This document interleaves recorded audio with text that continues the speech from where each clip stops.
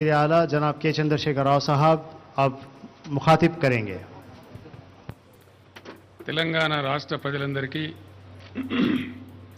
స్వాతంత్ర దినోత్సవ శుభాకాంక్షలు ఇది భారత స్వాతంత్ర అమృత ఉత్సవాలు జరుగుతున్న సందర్భం జాతి చరిత్రలో ఒక విశిష్ట ఘట్టం ఈ సందర్భంగా దేశ స్వాతంత్ర సాధన కోసం జరిగిన పోరాటంలోని ఉజ్వల ఘట్టాలను స్వాతంత్ర సమరవీరుల మహోన్నత త్యాగాలను యావత్ భారత జాతి సగర్వంగా స్మరించుకుంటున్నది. దేశ విముక్తి కోసం తృణప్రాయంగా తమ ప్రాణాలను త్యాగం చేసిన మహనీయులందరికీ వినమ్రంగా నివాళులు అర్పిస్తున్నాను ఈ సందర్భంగా డెబ్బై ఐదేళ్ళ స్వతంత్ర భారతదేశ ప్రస్థానంలోని వెలుగు నీడలన్నింటినీ కూడా మనందరం వివేచించుకోవాలి. మనం సాధించింది ఏమిటి? ఇంకా సాధించాల్సింది ఏమిటన్నది ఒకసారి మదింపు చేసుకోవాలి. ఒకవైపున దేశం అనేక రంగాలలో కొంతమేరకు పురోగతిని సాధించింది. అదే సమయంలో నేటికి చాలా రాష్ట్రాలలో ప్రజలు కనీస అవసరాల కోసం కొట్టుమిట్టాడుతున్న దుస్థితి ఉంది. స్వాతంత్రం వచ్చనని సబలే చేసి సంబరపడగానే సరిపోదోయి సాధించిన దానికే సంతృప్తిని చెంది అజయ విజయం అనుకుంటే పొరపాటోయి అని మహాకవి శ్రీశ్రీ రాసిన పాటను ఇప్పటికీ మనం అన్వయించుకోవాల్సిన అవసరం ఉంది. మరింత నిబద్ధత నిజాయితీ సామరస్యం సమభావం నిండిన దృక్పథంతో దేశ భవిష్యత్ నిర్మాణానికి భారత ప్రజలు పునరంకితం కావాలని నేను కోరుతున్నాను. మహాత్మా గాంధీ నాయకత్వంలో అహింసా మార్గంలో సాగిన జాతీయోద్యమమే ఆదర్శంగా తెలంగాణ రాష్ట్ర సాధన కోసం పోరాడి మనం విజయం సాధించాం.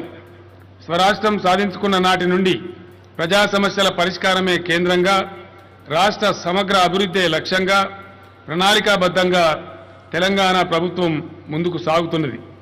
అన్ని రంగాల అభివృద్ధి అన్ని వర్గాల సంక్షేమం కోసం ప్రణాళికలు రూపొందించుకొని అమలు చేస్తున్నది.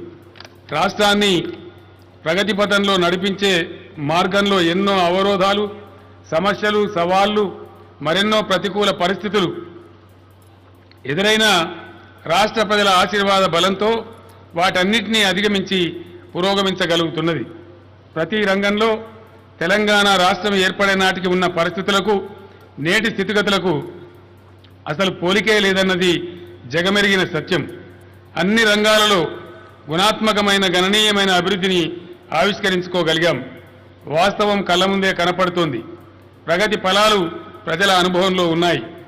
విద్యుత్ సమస్య తాగునీటి సమస్య సాగునీటి సమస్యలను శాశ్వతంగా పరిష్కరించుకోవడమే కాదు. ఈ రంగాలలో నేడు తెలంగాణ రాష్ట్రం దేశానికే ఆదర్శంగా నిలిచింది. దీర్ఘ దృష్టితో రూపొందించిన ప్రణాళికతో పటిష్టమైన ఆర్థిక క్రమశిక్షణతో పరిపాలన సాగించటం వల్ల తెలంగాణ ఏడు సంవత్సరాల స్వల్ప వ్యవధిలో స్థిరమైన ఆర్థికాభివృద్ధితో సుసంపన్న రాష్ట్రంగా అవతరించింది. రెండు వేల పదమూడు పద్నాలుగు తెలంగాణ ఏర్పడిన నాడు రాష్ట్ర స్థా- స్థూల ఉత్పత్తి నాలుగు లక్షల యాభై ఒక్క వేల ఐదు వందల ఎనభై కోట్ల రూపాయలు. ఆర్థిక వ్యవస్థ ఎదుగుదలకు తీవ్ర అవరోధాలను కరోనా సృష్టించినప్పటికీ ఇరవై ఇరవై ఒకటి ఆర్థిక సంవత్సరంలో మన రాష్ట్ర స్థూల ఉత్పత్తి తొమ్మిది లక్షల ఎనభై వేల నాలుగు వందల ఏడు కోట్ల రూపాయలుగా నమోదైంది.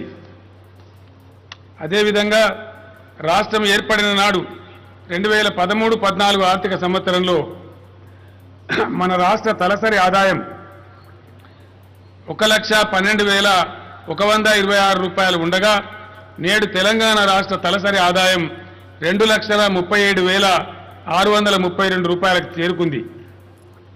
నేడు మన దేశ తలసరి ఆదాయం ఒక లక్ష ఇరవై ఎనిమిది వేల ఎనిమిది వందల ఇరవై తొమ్మిది రూపాయలుగా నమోదైంది.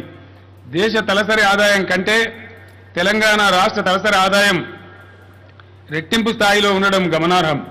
తెలంగాణ ప్రభుత్వం వెల్లడించిన గణాంకాల ప్రకారం దేశంలో పదికి మించి పార్లమెంటు స్థానాలున్న పెద్ద రాష్ట్రాలతో పోలిస్తే తలసరి ఆదాయంలో మన రాష్ట్రం దేశంలోనే ప్రథమ స్థానంలో నిలిచిందని చెప్పడానికి నేను గర్విస్తా ఉన్నాను.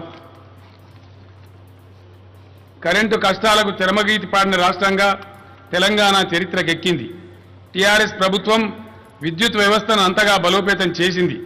నేడు దేశంలో ఇరవై నాలుగు గంటలు అన్ని రంగాలకు నిరంతరాయంగా మేలైన విద్యుత్ సరఫరా చేస్తున్నటువంటి రైతులందరికీ ఉచితంగా విద్యుత్తును అందిస్తున్నటువంటి ఏకైక రాష్ట్రం మన తెలంగాణ రాష్ట్రం మాత్రమే. తెలంగాణ ఏర్పడిన నాడు మన రాష్ట్రం కలిగి ఉన్న స్థాపిత విద్యుత్ సామర్థ్యం ఏడు వేల ఏడు వందల ఎనభై ఎనిమిది మెగావాట్స్ మాత్రమే. తెలంగాణ ప్రభుత్వం చేసిన అపూర్వ కృషి ఫలితంగా నేడు మన రాష్ట్రం కలిగి ఉన్న స్థాపిత విద్యుత్ సామర్థ్యం పదహారు వేల నాలుగు వందల ఇరవై ఐదు మెగావాట్లకు పెరిగింది తెలంగాణ ఏర్పడినప్పుడు ప్రభుత్వ పరిధిలో కేవలం డెబ్బై ఒక్క మెగావాట్ల సోలార్ విద్యుత్ మాత్రమే ఉత్పత్తి అయ్యేది. ప్రస్తుతం మన రాష్ట్రం నాలుగు వేల మెగావాట్ల సోలార్ విద్యుత్ ఉత్పత్తి సామర్థ్యం కలిగి ఉంది.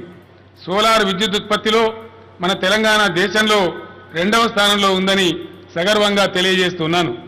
తెలంగాణ రాష్ట్ర అవతరణ జరిగిన తొలినాళ్ళలో రాష్ట్ర తలసరి విద్యుత్ వినియోగం పదమూడు వందల యాభై ఆరు యూనిట్లు ఉండేది. విద్యుత్ రంగంలో వచ్చిన అసాధారణ అభివృద్ధి వల్ల రాష్ట్ర తలసరి విద్యుత్ వినియోగం ప్రస్తుతం రెండు వేల పన్నెండు యూనిట్లకు పెరిగింది. జాతీయ తలసరి విద్యుత్ వినియోగంతో పోలిస్తే మన రాష్ట్ర తలసరి విద్యుత్ వినియోగం డెబ్బై మూడు శాతం అధికంగా ఉంది. తలసరి విద్యుత్ వినియోగంలో దేశంలోని పెద్ద రాష్ట్రాల్లో తెలంగాణ మొట్టమొదటి స్థానంలో నిలిచిందని సవినయంగా మనవి చేస్తూ ఉన్నాను. మన నల్లగొండ జిల్లాలో నాలుగు వేల మెగావాట్ల ఉత్పత్తి సామర్థ్యంలో నిర్మాణం అవుతున్న యాదాద్రి థర్మల్ పవర్ ప్లాంట్ ప్రభుత్వ రంగంలో నిర్మిస్తున్న మొట్టమొదటి అతిపెద్ద ultra mega thermal power plant. ఈ ప్లాంట్ అందుబాటులోకి రాగానే తెలంగాణ మిగులు విద్యుత్ కలిగిన రాష్ట్రంగా అవతరిస్తుందని తెలియజేసేందుకు నాకు చాలా సంతోషంగా ఉంది. మిషన్ భగీరథ పథకంతో ఇంటింటికి నల్లాల ద్వారా స్వచ్ఛమైన తాగునీరు అందిస్తున్న ఒకే ఒక రాష్ట్రం మన తెలంగాణ రాష్ట్రం. ఇట్లా చెప్పుకుంటూ పోతే అనేక రంగాలలో అనేక విషయాలలో మన రాష్ట్రం దేశంలోని ఇతర రాష్ట్రాల కంటే మిన్నగా నిలిచింది. వివిధ రాష్ట్రాల వారు మన విధానాలను అనుసరించి ఆచరించడానికి మన వద్దకు వస్తున్నారు. మన పథకాలను మన కార్యక్రమాలను అధ్యయనం చేస్తున్నారు.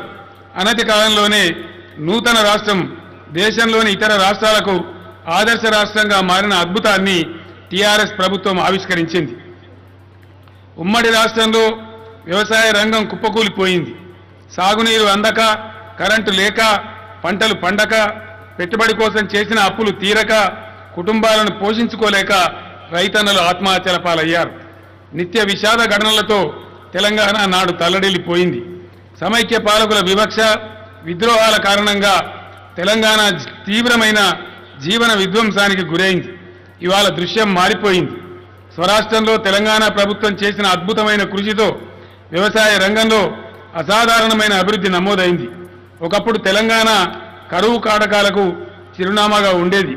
ప్రస్తుతం అదే తెలంగాణ ఇరవై ఇరవై ఒకటి వ్యవసాయ సంవత్సరంలో మొత్తం వ్యవసాయ ఉత్పత్తులు కలిపి మూడు కోట్ల నలభై లక్షల టన్నుల దిగుబడిని సాధించిన రాష్ట్రంగా దేశంలో అగ్రభాగాన నిలిచింది. రాష్ట్ర జీడిపిలో ఇరవై శాతం ఆదాయం వ్యవసాయ రంగం సమకూరుస్తూ ఉన్నది. దండగా అనుకున్న వ్యవసాయాన్ని ప్రభుత్వం పండగలా మార్చింది అని చెప్పడానికి ఇంతకు మించిన నిదర్శనం ఉండదు. తెలంగాణ వ్యవసాయ సమృద్ధిని సాధించిన సస్యశ్యామల రాష్ట్రంగా రూపుదిద్దుకున్నది. దేశానికే అన్నం పెట్టే అన్నపూర్ణగా ఎదిగింది. ఉమ్మడి రాష్ట్రంలో మన అవసరాల కోసం కానీ పేదలకు రేషన్ బియ్యం పంపిణీ కోసం కానీ ఎక్కడెక్కడి నుంచో ఇతర రాష్ట్రాల నుంచి బియ్యం దిగుమతి అయ్యేవి. అవి తినడానికి కూడా పనికొచ్చేది కాదు. కానీ ఈరోజు తెలంగాణ రైతన్నలు తెలంగాణ రాష్ట్రానికే కాకుండా దేశంలోని ప్రజలందరికీ కడుపు నిండా అన్నం పెడుతున్నారు. తెలంగాణ రైస్ బౌల్ ఆఫ్ ఇండియాగా అవతరించింది. మంత్రం వేస్తేనో మాయ చేస్తేనో ఇటువంటి విప్లవాత్మకమైన మార్పు సంభవించదని నేను వేరే చెప్పవలసిన అవసరం లేదు. ఆర్నిశలు చేసిన మేధవ మదనం సమర్థవంతమైన ప్రణాళికల పర్యవసానమే ఈ అపూర్వ అభివృద్ధి అని సవినయంగా మనవి చేస్తూ ఉన్నాను. మిషన్ కాకతీయ ద్వారా చెరువుల పునరుద్ధరణ త్వరితగతిన సాగునీటి ప్రాజెక్టుల నిర్మాణం ఇరవై నాలుగు గంటల ఉచిత విద్యుత్తు వ్యవసాయ శాఖను పటిష్టపరచడం వ్యవసాయ క్లస్టర్ల ఏర్పాటు రైతు బంధు రైతు బీమా పథకాలు రైతు వేదికలు పొలాల దగ్గర కళాల నిర్మాణం గిడ్డంగుల సౌకర్యంలో పెరుగుదల సకాలంలో ఎరువులు విత్తనాల సరఫరా తదితర చర్యల ద్వారా ప్రభుత్వం వ్యవసాయ రంగంలో నూతన ఉత్తేజాన్ని నెలకొల్పింది. ప్రభుత్వం తమకు అండగా